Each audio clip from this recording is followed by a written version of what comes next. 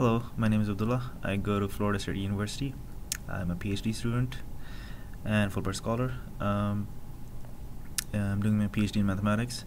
I've been I've been asked to make a video of my Fulbright interview experiences uh, by my friend Mohammad Wakas, and I hope this video is beneficial to those who watch it. I mean, if you do watch it, kudos to you, because I, I I'll be pretty general. Um, uh, two disclaimers. Number one, uh, the opinions in in this video are my own and my own explicitly. They are not Fulbright, the Fulbright Commission's A and B.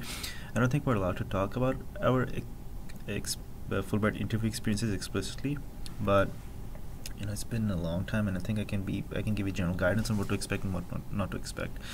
That wouldn't be against the um, Fulbright Commission's uh, requirements, guidelines. But so um, I'm gonna talk about my experiences, um, the plural, right? Um, I applied for the Fulbright Scholarship back in 2012, 2013, 2014, and 2016. Yes, I applied for the Fulbright Scholarship four times. And, um, well, needless to say, I didn't get selected in the first three times, right? Uh, and the first time I didn't even get it to the interview. I didn't even make it to the interview because, uh, you know, I my application i just i figured my application wasn't something you know just randomly fill out you know it's not just your name and address the random stuff that you fill out right? You have to actually work on your application. So i did just that in, after my first rejection. And um, the next three times i pretty much used the um, same application you know. Um, except for the fact that i had a master's in my 2016 application right? So basically this background is to tell you that your app your interview can make or break your case. You know, it's it is a vital um, component of the Fulbright application process, right? Um, in, in, general, right? Um, I mean, the purpose of any interview, uh, if if you've, you've, been lucky enough to make it to the interview cut, right? The uh, panel or the selection board is already impressed with your credentials, right? They just want to see how you are as a person, right? Um, I mean, I could attach supporting documentation for who I am, right? I mean, yeah, but believe me, I am not my CGPA, I'm not my GRE score, I'm not the number of papers that I published. I, in fact, I'm not even the um, I don't know, one page essay or personal statement that I write, because a it's it's a highly polished version of me, right? It's you know, it's my refined self. You know, it's it's not my true self. You know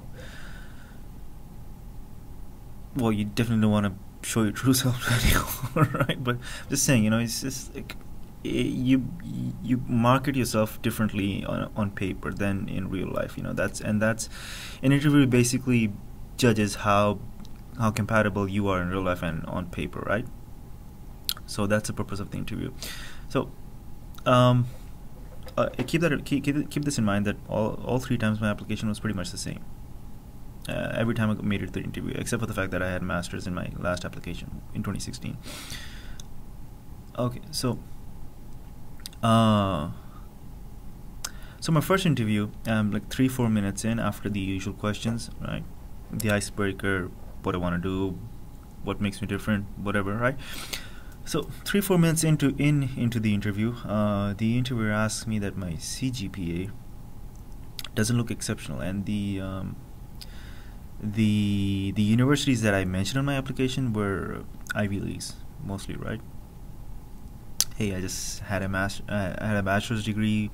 Uh, you know, I was naive and hopeful with ambitions. You know, just want to take over the world. You know, I can do this, right? You know, you, you're young and naive. You you have these aspirations. You know, you just have this disregard, ex- extreme disregard for what's real, right?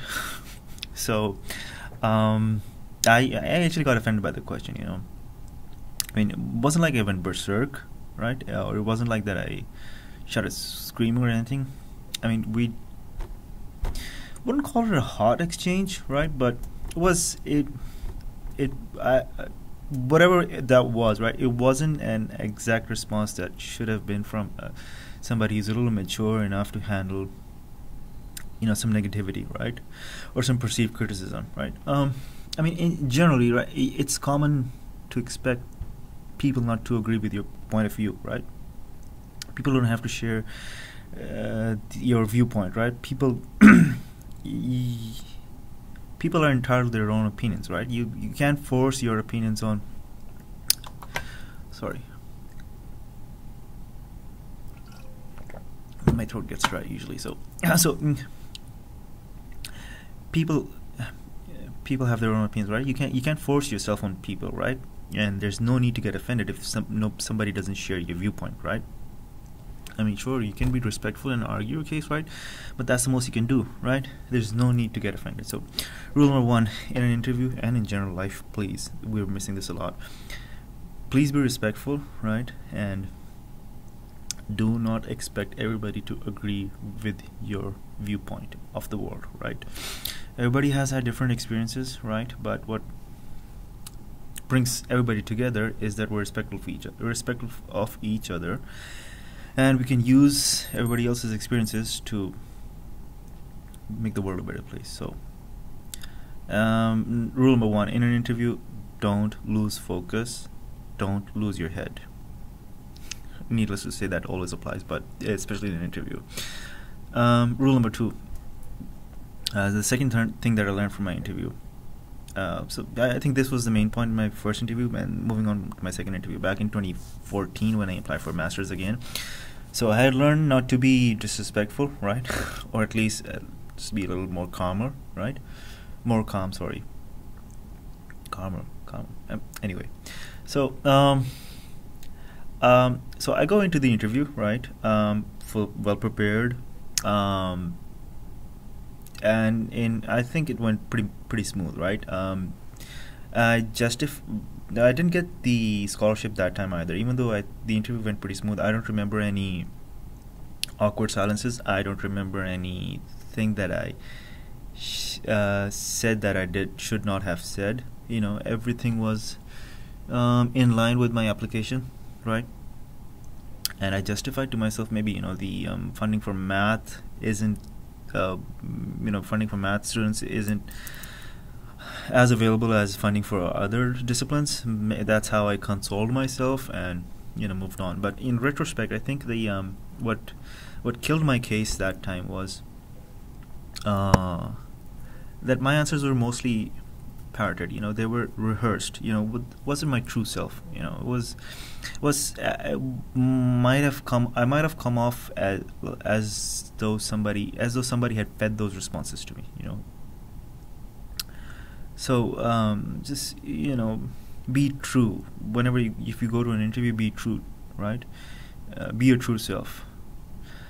Um, and uh, I think that's exactly what I did in my final attempt, right? I was asked different questions. You, you know, what you want to do when you, uh, what are you going to do with the scholarship? Um, why should we give you the scholarship? Why do you want to, uh, uh, you know, what are you going to do when you come back? Right, those sort of questions, and uh, my responses were pretty spontaneous uh, at that time. You know, in fact, it was they were so spontaneous. I remember a question in which I gave a um, sort of frustrated, realistic reply, you know, in a comical way, that actually made the committee laugh and uh, yeah. And it was it was you know it was it, it expressed my frustration with how the world doesn't work. You know how what's missing is what i want to do with it you know.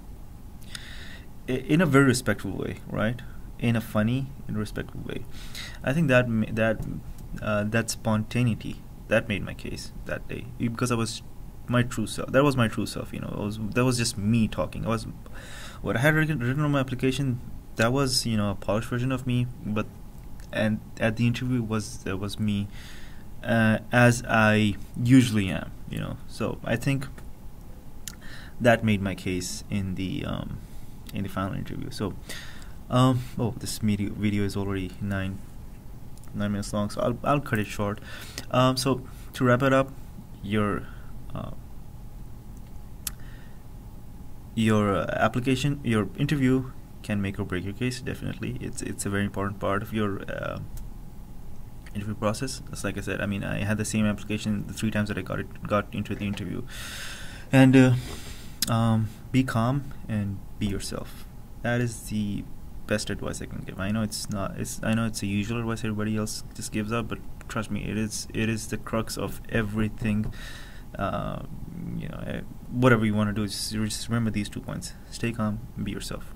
And if you're if you have an interview coming up, wish you good luck. If you want to prepare, wish you good luck. If you you know, it's, um, I hope I hope you do get the scholarship if you're applying for the Fulbright. Thank you for listening and thank you for tolerating me.